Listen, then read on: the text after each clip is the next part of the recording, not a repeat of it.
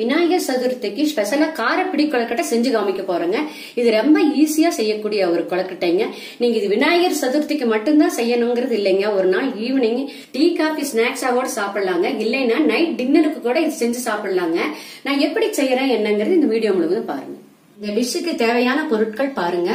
நார்மலான பச்சரிசி மாவு தாங்க ஒரு கப் எடுத்து வச்சிருக்கிறேன். இது இடியாப்ப மாவோ கொழக்கட்டை மாவோ இல்லைங்க.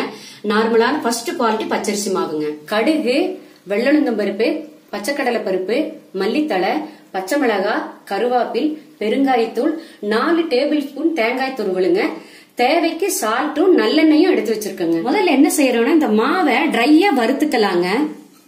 இப்ப கடையில வாங்கின மாவுங்க இது சப்போஸ் நீங்க வந்து பச்சரிசி ஊற வச்சு அரைக்கிறீங்கன்னு வைங்க. அந்த மாவையும் வறுத்து தாங்க செய்யணும். அடுப்பு சிம்மில் வச்சுட்டு வருங்க. எதுக்கு மாவு வறுக்கிறதுனா கொழக்கட்டை வந்துங்க அப்பதாங்க மிருதுவா இருக்கும். அதுக்கு தான் மாவு வறுக்கிறதுங்க.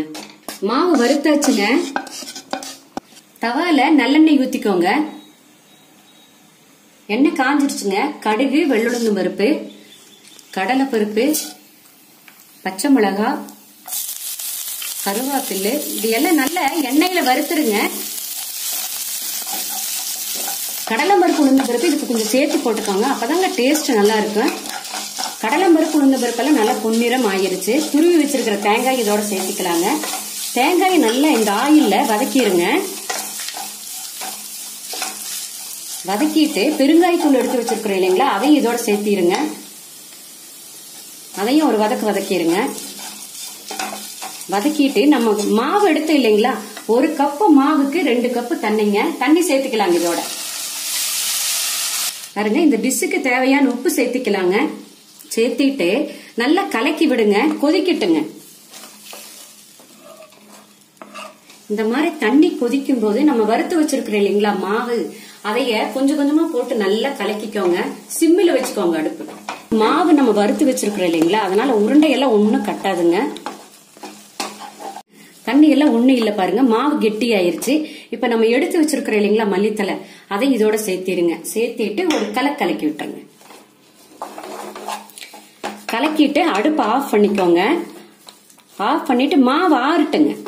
இது எதுக்கு இந்த மாதிரி செய்யறதுன்னா இந்த மாதிரி பெரட்டி விடும்போதுங்க மாவு வந்து மேல ஆடப்படியாதுங்க.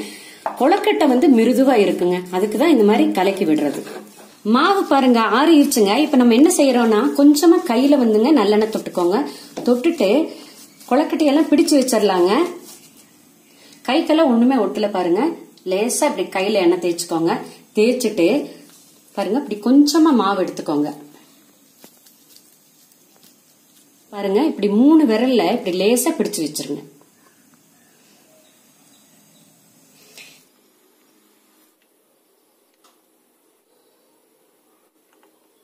கொழக்கட்டையெல்லாம் பிடிச்சாச்சுங்க. பாருங்க நல்லா தண்ணி கொதிக்குதுங்க. இந்த மாதிரி தண்ணி கொதிக்கும் போது நீங்க என்ன பண்றீங்க வச்சிடுறீங்க. வச்சு மூடிடுங்க பத்து நிமிஷம் விட்டா போதுங்க வெந்துருங்க. பத்து நிமிஷம் ஆச்சுங்க. கொழக்கட்டையெல்லாம் பாருங்க நல்லா வெந்துருச்சு பாருங்க. ஆறுன வரைக்கும் ஒரு தட்டத்தில் எடுத்து வச்சிருங்க. இவ்வளவுதாங்க ஈஸியா செய்யக்கூடியதுங்க இந்த கொளக்கட்டை நீங்களும் ஒரு நாள் இதே மாதிரி செஞ்சு பாருங்க. செஞ்சு பார்த்துட்டு உங்களுடைய கமெண்ட்ஸை சொல்லுங்க.